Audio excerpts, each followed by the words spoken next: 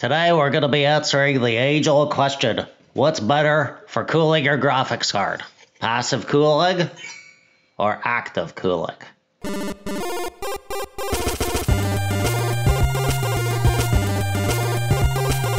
Oh, hi everybody, TechDweeb here. And uh, yeah, I thought it would be a fun little test here to do a little experiment to see if we could find out if passive cooling, which is where you don't have any airflow, you just have a heatsink, is the same performance as active cooling. And active cool- cooling, you have a fan on top. And there's still a heatsink under there, obviously. See there? You can see the heatsink but the fan blows the air through. On this car, the only airflow would be the air that's flowing through your case. So these are both Asus cards. They're both the GT 1030 and they have basically the same specs.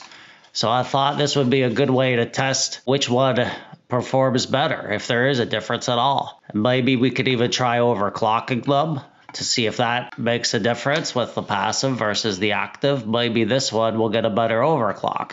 Or maybe there's no difference at all. And we're just wasting our money on all these cards with fans. You know, we could just leave the fan off. And then I thought, yeah, this will be fun. If this one doesn't do as good as this one, maybe it could if we put a fan on it. So I got a little, fan here. Maybe we'll strap it to the card like that, and we'll see if we could make this card perform as good as this card. Or maybe it won't make any difference at all, and it's just a waste of time with all these fans all the time. Anyway, let's go ahead and put these in the computer and we'll do some initial tests just on their default configuration. So there we go. We got the actively cooled GT 1030 set up in my computer here. And uh, yeah, let's do a benchmark on this as the kind of default base configuration before we go messing around with any settings or anything like that. So our benchmark game here is going to be Shadow of the Tomb Raider. So quickly here, the display settings running at 768p. The low uh, graphics presets, obviously. This is not a very fast card, but you know, as you can see, it runs the game pretty well. I let the game run for about five minutes here. So this is the uh, temperature that the card got up to. That's 49 degrees here on the screen. 30, 31, 32 frames per second average is uh, is pretty good. And then we have our possibly cool card in the system here. The settings were the same for both, obviously, and uh, we're getting a little bit lower FPS here. You know, 30 31 FPS. It's not drastically different. What is drastically different, though, you can see at the top, we're running at 72 degrees Celsius. And this is after letting it run for about five minutes. You know, my case has good airflow, so I don't think it would go up very much more. Yeah, similar clock speeds, similar FPS, but the temperatures are uh, quite quite different actually. Uh, so let's try some overclocking on the actively cooled card using MSI Afterburner. Just a slight overclock. This is the best uh, overclock I could get uh, to keep it stable, and uh, let's let it sit for about 10 minutes. And this is the maximum temperature we got up to. It didn't go above 54 degrees Celsius, and it did make quite a difference to the frames per second, as you can see. We're running at about 34 frames per second. Okay, same thing on the uh, passively cooled card. We're gonna run a overclock on this. The best stable overclock I could get on it. You know, out of the gate, same FPS, but we're gonna let it run for a bit now. Yeah, so we've been running for like 10 or 15 minutes. We've almost reached 80 degrees. And it, it, it's throttling a little bit now. It was at 1860 megahertz. Now it's at 1848. And the card, it's actually it's actually really hot. This heatsink, when I touch it, it's it hurts my fingers. Yeah, even if the frames per second hasn't decreased, it's throttling a little bit, and I'm curious to see if it ever actually fully throttles if I let it just keep running here.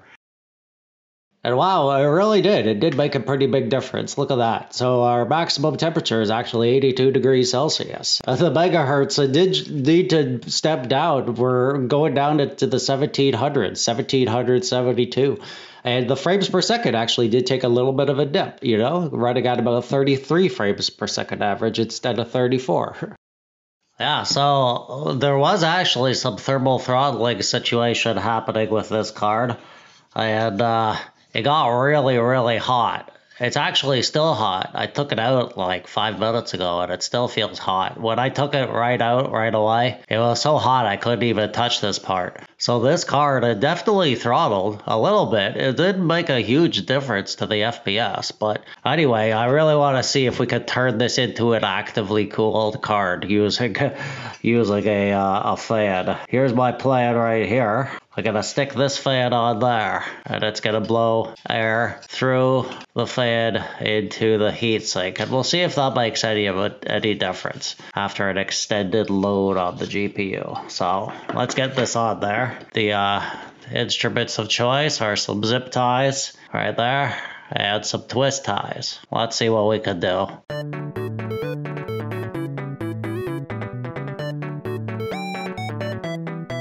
okay, okay, there's my solution there.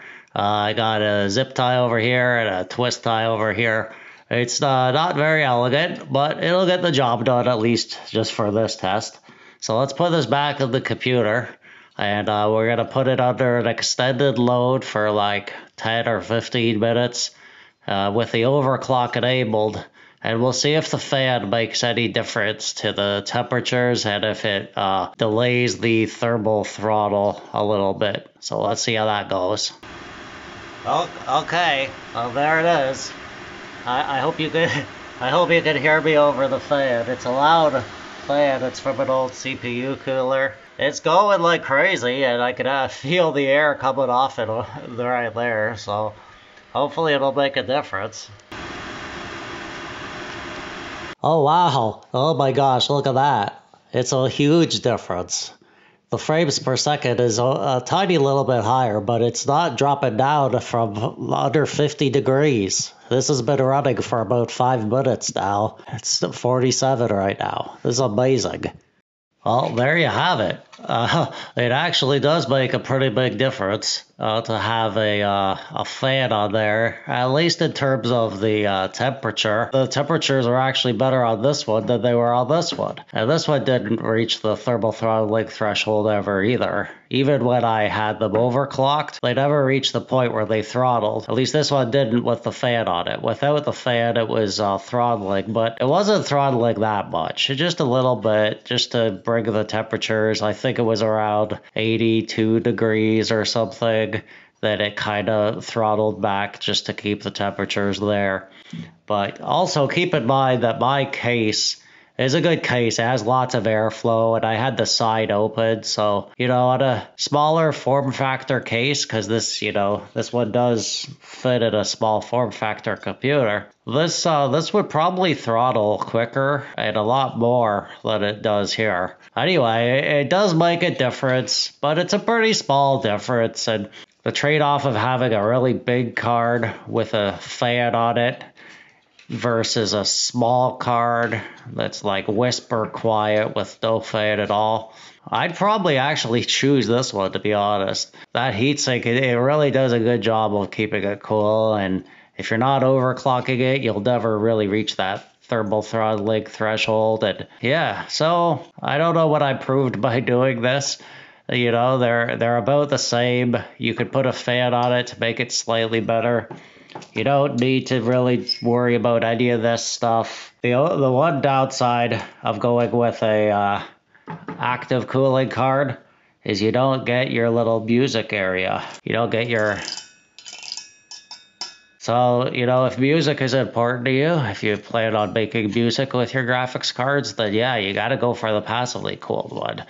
The actively cooled one has no music abilities to speak of. So yeah, there's my conclusion right there. So uh, yeah, I hope you found this useful or at least entertaining.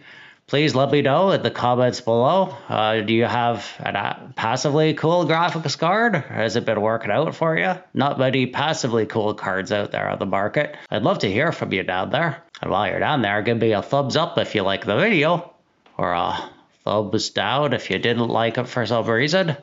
Subscribe so you don't miss any of my videos. I'm Tech Dweeb. Thanks for watching. Bye bye